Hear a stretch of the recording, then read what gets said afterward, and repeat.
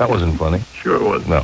So, what's on the agenda today after the show? Going home, sit there with your wife? He runs home to sit with his wife and watch the kid. He has to Yeah, run he right home. misses her. I run a business after Yeah. I go home. What, What off, business? off our rockets or whatever that is? He's, Rocket he's off our Entertainment. rockets, and I'm Rocket rocking. Entertainment. Music the way you like it. That's right. I had some guy write me a letter. He said uh, he offered Scott a job and Scott just blew it off. No, Really? Yeah. couldn't smoke. Uh, It was a no smoking job. a DJ job. Won't Yeah. do it. I don't take everything depending on location and you know what they want to pay. I mean, you Location. know. Location. So, I mean, how Location. difficult could it be to run this business of his after work? Oh, it's, it's, it's huge. Oh, it's monstrous. Right. He's got to take phone calls and then uh, just agree to either do the job or not. How am I Huge supposed to get turntables to Yonkers? How am I supposed to do that? If you carry my turntables, I'll show up. That's right. Do you have equipment? All right, Scott, thanks. I don't want to spend the whole show on you. Good. All right.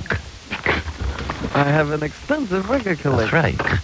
if you want me to play a gig, you better be near a 7-Eleven where I can buy more cigarettes. So uh, what's the uh, last gig you did? Where did you Where did you spin records? It's so funny that he shows up. You know, you think of a DJ as like youthful and energetic, Yeah. and Scott shows up. He's like, Excuse me, man. Where would you like me to set up? and where can I change into my smoky tuxedo? "What do you wear these days to these gigs? Tux. You wear a tux? Oh, sure.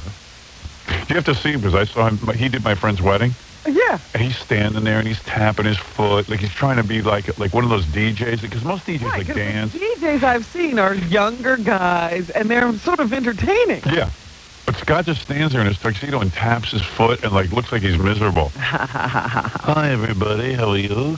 He tries to be the master of ceremonies though. And he'll take the microphone and he'll start talking to the crowd. We gotta tape your one of your gigs. We haven't done that in a while.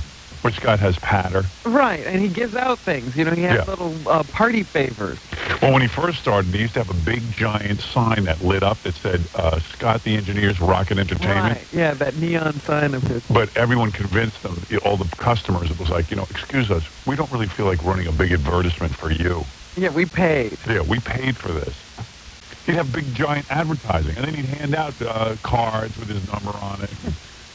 Yeah, the party favors were his cards. It's got completely insensitive that, that they, maybe the guests don't want to be solicited the entire You're time. there to network. Yeah, I haven't done that in a long time. but yeah, because we told you not to do it. Hands up, and then he goes, all right, everybody, time for a hands up. and then he does it. He does hands up, There's another baby, one now. hands up, baby, your love, give me, give me your love, baby, baby. He must be doing the new one. What's the new one? Macarena. Hey, Macarena. And what is the Macarena?